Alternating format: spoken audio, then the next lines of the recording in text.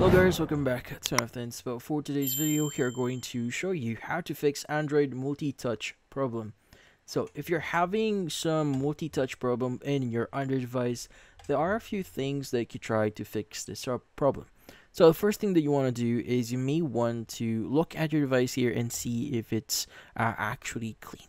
Now sometimes dirty or uh, devices or Android phones that phones that have like uh, dirty screens or anything that has the dirt or any grime in your screen can cause those multi-touch problems. So you may want to get some simple cloth out there, maybe some warm, warm water here and just clean your screen and see if that actually helps.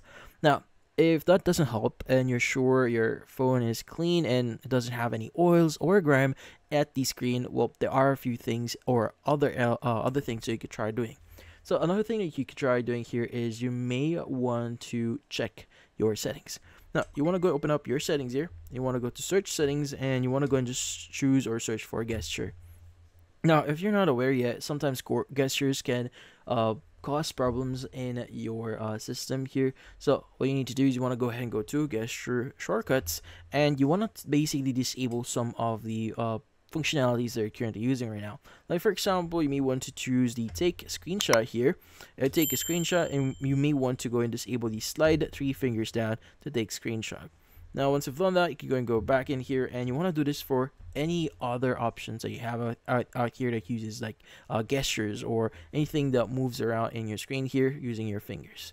Now also you may want to go to your gestures section here now, from here, you may want to go or switch over to buttons instead. So you go and just choose buttons instead of gestures. Well, by the way, the options or settings here might be different for you. So depending on what device you're currently using.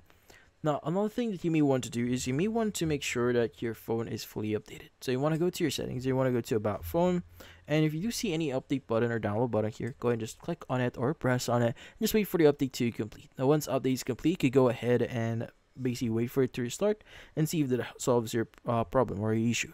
Now, if none of this actually worked for you, uh, there are going to be a few things that you need to remember here. So the problem itself might be because of hardware issues. So uh, with that, you may need to reach out to a technician or schedule uh, an appointment with a technician here just to get this solved because most likely, again, it's going to be a hardware uh, issue, not a software issue here. So there's nothing much that we could do.